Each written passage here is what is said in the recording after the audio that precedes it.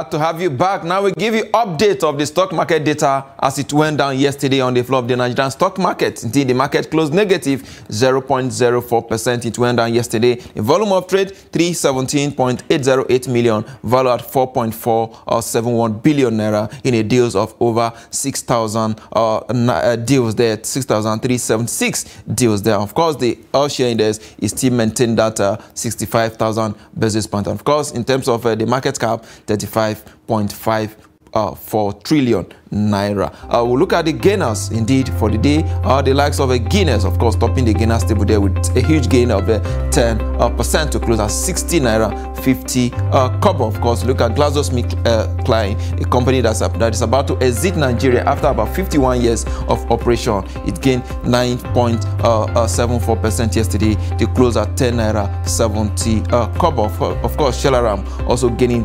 9.73 percent close in green there 3 naira 72 kobo it ended on the day. We look at the losers. On the day of course the likes of uh, set plc also uh, uh, losing 10 percent there. To close at 27 kobo per share. Of course and mfm that is a northern nigeria flour mills plc closing negative there 9.89 percent. To close at 12 naira 30 kobo. Of course John Holt completing the top three losers on the day 9.52% it lost. To close at 1 naira 33 kobo look at the activity chart and see how uh, the equity traded. Of course access bank uh, corporation the mother company of access bank uh, uh get, uh, doing 49.35 million volume of shares. There sterling bank also coming second there 42 43 0.82 million. And of course Uni, universal insurance plc also doing 28 0.86 million volume of shares. They will look at the rest of the continent and see how the market uh, across Africa are also doing. Tunisia Stock Exchange down there in Tunis closed negative there, 0.07%. It went down on the down. Of course, NMSC, Namibia Stock Exchange in Southern Africa, also closing negative there, 0.01%. And down there in Mauritius, the market closed positive, 0.04%. These are the highlights of the stock trading on uh, uh, Tuesday across the African continent continent. Of course, the market is on as usual. We'll give you up to date with all the market data from the rest of the continent. But for now, we take a very quick break. When we come back, we go into our discussion. Don't go away.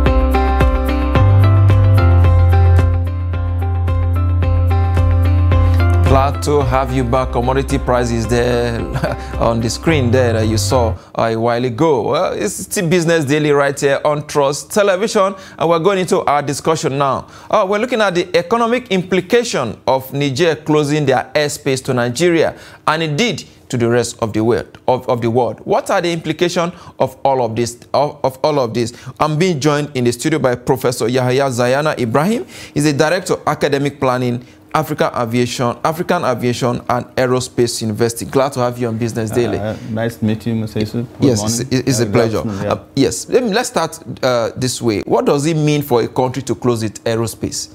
Um, you know, uh, all countries uh, on the earth have what we call territory. That is the total land area that the country possesses. Absolutely. And it has sovereignty over this territorial land border. No mm. any country can enter without its permission. Mm. So the same thing applies to airspace. Any space on the atmosphere that is mm. within the territory of the country mm. is called airspace for that country. They have sovereignty for management over its territory. No flight can pass through that mm. aerospace without permission. Uh, so that is why internationally uh, there are many protocols and laws and multilateral agreements that were designed mm. essentially to ensure efficiency, safety, and management of all these airspaces. Mm. Uh, I think if uh, I can recall, in 1944, there is what we call Chicago International Civil Aviation Convention that gave birth to International Civil Aviation Authority, ICAO. Mm. They manage all the airspaces with various laws on how to register air, air, airplanes, air, aviation safety, and many other things. Mm. Uh, among this, they ensure efficient and proper management of airspace to avoid collision and many other things. Mm. So when a country decided to say, I locked, I closed my airspace, meaning that no any aeroplane, whether commercial, uh, military and the like, has any right to pass through its aerospace. Once you attempt it, they come they can shoot it mm. because it is within its power. Mm. They can decide who to fly and when and what. So that's essentially what uh, airspace is all about. So when a country decided to close, meaning that no passage, mm. no country, no any aeroplane, aeroplane can, actually pass through there. So what process do countries have to follow to take that kind, to arrive at that kind of decision? Well, it depends. In most cases, if you look at the recent happenings in Niger Republic, it's essentially for, for, for security reason mm. because they felt now ECOWAS are planning to use whatever means available to mm. ensure they reinstate the, the ousted president of the country. So to them, they felt threatened because if they allow that, probably they might. The easiest means to attack is through, you know, it's now mm. warfare is through aeroplanes and the likes. Mm. So they decided to do that on security purposes.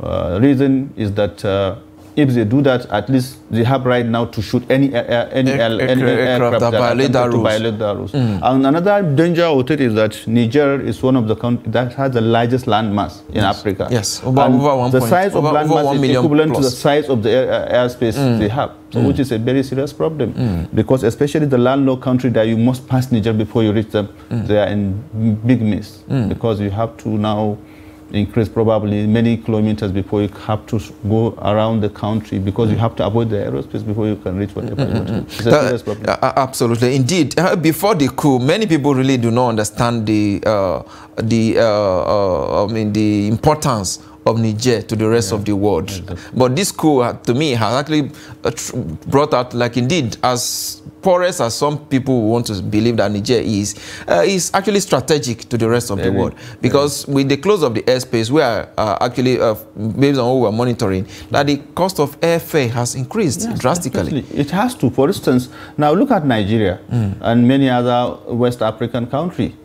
We have to pass Niger. Easy, our easiest route to Europe is to pass through Niger Republic. Mm. Now, if the Niger is blocked, you have to pass through Chad Republic, or you have to by, bypass through other uh, West African country. Mm. there, meaning that addition of uh, thousands of kilometers, mm. and of course, it has to come with a cost because the airlines maybe uh, the danger now is that airline will, will, increase, their will increase their fares. Mm. Those who booked already, the airline has to run cost because they have to increase amount of fuel to fuel the, mm. the fuel jet to, mm. to reach the destination. It's a mm. serious uh, problem, which probably uh, ECOWAS they need to look. Uh, definitely, they have to have a solution to the problem mm. what of what is happening in Niger now. Otherwise the consequences will affect everybody. Of course, even the Niger will suffer a lot mm. because uh, they have some the money they are receiving whenever there is uh, any commercial air mm. that pass through their land air, airspace. Exactly. So this will affect them economically. Will, seriously, they will mm. suffer the most. But at least for security reasons, they are, of course, they have nothing to lose now. Uh, so various, many, many sanctions are coming up from mm. ECOWAS, US, and mm. many other countries. Mm. So they knew, okay, fine, we are going to suffer. You too, you will suffer. So that is a kind of we we don't care. Mm. What happened? Let what is going to happen? Let it happen mm. because they are in serious mess. Uh, the country will suffer a lot. They will suffer more than the other countries, but at least we too will suffer because mm. we have to pay more. We have to buy more to reach our destination. Mm. So when you disconnect uh, Nigeria, just take Nigeria as an example. Mm. Imagine you disconnected Nigeria with Europe people will suffer. Absolutely. Because most of our businesses, everything we imported things from Europe. And mm. once you have to pay more for cargoes and the likes, it will cost more. The prices of goods will go high mm. and many others. So the alternative route now for Nigeria, from Nigeria, for example, if you're going to Europe or Asia now, will have to, if you have to go through Ghana, maybe Cotonou and others, yeah. uh, what does that really mean economically? Economically, if, for instance, we reach a stage whereby foreign airlines especially from Europe, cannot come to Nigeria because the cost is getting too high to them. Yes. So we're talking Nigeria will lose a lot because aviation is now coming up.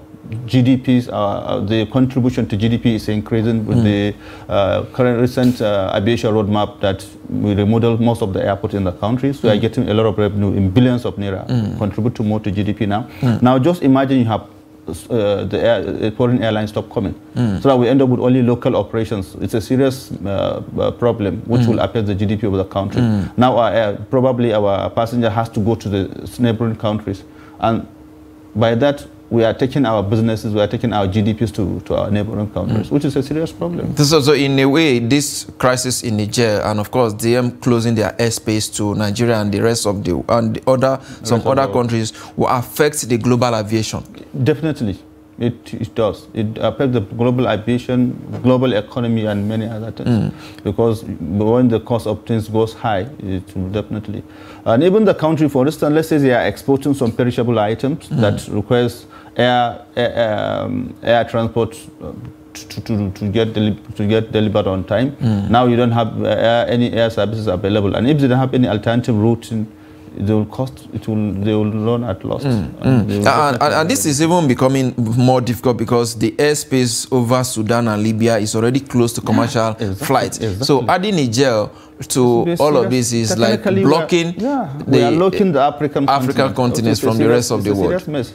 Just if you remember, recent Hajj fares had to go high because they have to bypass Sudan, which is a straight route. Mm. But because of the insecurity in Sudan, the, the passengers had to pay more mm. because the airline has to buy more, has to increase the mm. volume of fuel that can be sufficient for them to reach the destination. Mm. It's a serious problem. And the earlier all actors realize this is a better and proposed solution, the better for everyone. Mm. The coup has happened. They have ousted the president. Mm. Whether we like it or not, they must have what the reason probably is, is up to them. It is high time ECOWAS to look at the best option to resolve this problem. The longer it takes, the mm. more consequence and uh, negative to the economy of the entire region. Mm -mm. I was reading just this morning that, that uh, about 500 passengers making their way back to the UK uh, this morning saw their British Airways flight diverted back to South Africa yeah. because they are unable to, to pass to, through. To yeah. pass through because the, the, you know when you look at it, technically Niger is above Nigeria and with the whole land mass. mass so yes. you, over 1.4 million square kilometers. Pass, yeah, you have yes. to pass through Niger. Mm. Now, if you uh, don't want to do that, you have to debate along uh, Chad probably with Chad, you have to pass through some part of portion of Sudan, Libya before you take it, mm. take the route again. Mm. Now it might be too costly for the air to for the British Airway to do that, or mm. they felt let's just uh, think of if they drop them at South Africa now they can fly from South Africa to Nigeria, which is too costly mm. to the airline. Probably my, I might have booked my flight ahead of schedule so that it won't cost much anything to me but to the airline. But at least the time I spent probably I might have arranged my meetings and programs, which I know normally six hours from UK to Nigeria, now you have to spend probably about 24 hours. Eh, eh, eh, exactly. Yeah, that, that, that, that is huge. Now, yeah, huge. my concern is that uh, this is not the first coup we're having in Africa especially in recent times. We've had coup in Burkina Faso, yeah. there's coup in Guinea. Of course, we're having also a military a government in Mali. Mali. But the reaction we are getting from ECOWAS we didn't have, get uh, that similar reaction when it happened in those countries. What makes Niger so strategic? Um, probably what might be factor to this is that, you know, uh, some of the problem might be uh, instigated by political actors. You know, in I think in uh, is it in Guinea, the, uh, the then ousted president wanted to extend his tenure. I think uh, beyond his constitutional limits, and military took advantage of that and and throw him away. Uh, for Burkina Faso and Mali, they hinge on securities and all this uh, whatever. Uh, the funny thing is that as then ECOWAS, we ju- they just suspended them, nothing more.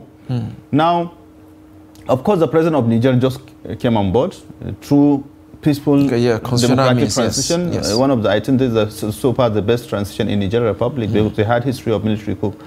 Uh, I think the closeness of Niger to Nigeria and interrelationship and coupled with the changes probably at ECOWAS, now we have new president, the president of Nigeria is the chairman of the head of state. So he felt he has obligation to ensure uh, the ECOWAS step their authority that this thing has to stop. But I think we need to trace back. Why are we, just look at all these countries where this thing are happening, are mostly francophone, uh, Yeah, exactly. francophone Yes, countries. yes. Then we need to find out what are the reasons behind that. When you look at most of the countries, there is strong sentiment, uh, resentment against uh, France.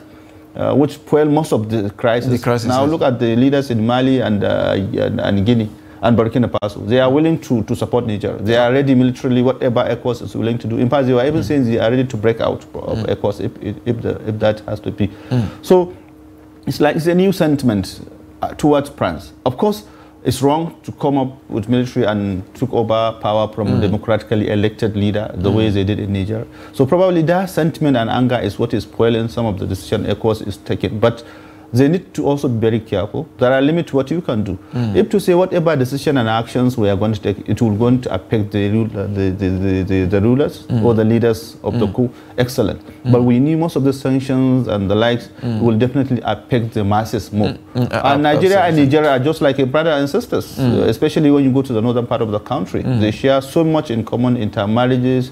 Uh, in past, person of in Even lang- languages, a person yes. in Katsina feel more at home with somebody in Maradi than somebody in southern Uh, part uh, of the country. So we have to be very careful of this. The impact and the implication is going to be huge on the country and everyone around the region. So and, and already we're already feeling the Yeah. impact. If you look at So the, look at the what we are airspace there, The this is Niger, a very huge. Get down to the down to your left there, you see Mali, exactly. uh, the share common boundary with Mali, and on the other side there is Chad. If you go up there, you see uh, Libya and of Libya course and Al- Mali. That was Algeria. what we are Uh, uh. Algeria. So uh, this is uh, a very huge.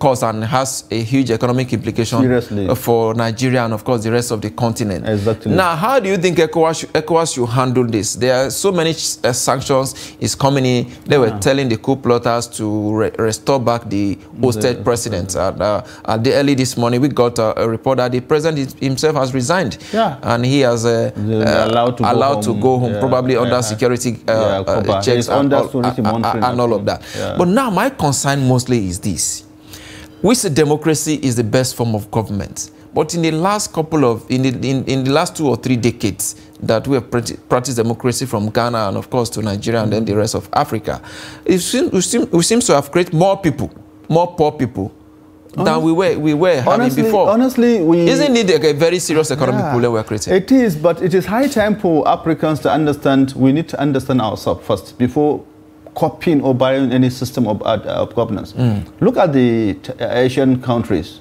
Some of them are semi-democratic countries. They have their own culture. Look Mm. Yes. Mm. at Singapore and all of them. They are developing Malaysia. Some and are even monarchical. They have their own. They didn't copy democracy hundred percent the way we did.